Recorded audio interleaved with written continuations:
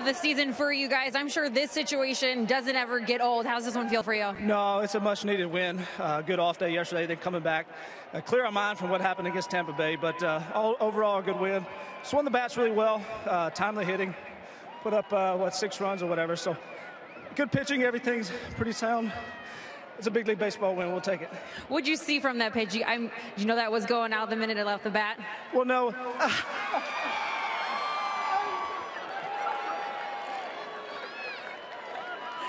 Uh, dang Dom.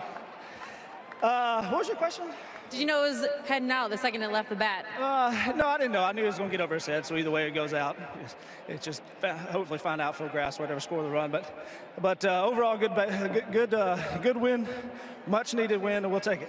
What can you say about the bullpen tonight? Because they had an incredible performance to keep you guys in this one. Kintzler, uh, Bod, I think Boshers' first big league win.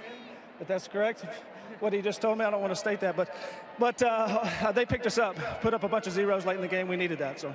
All right, congratulations on the win, Brian. All right, thank you. Thank you.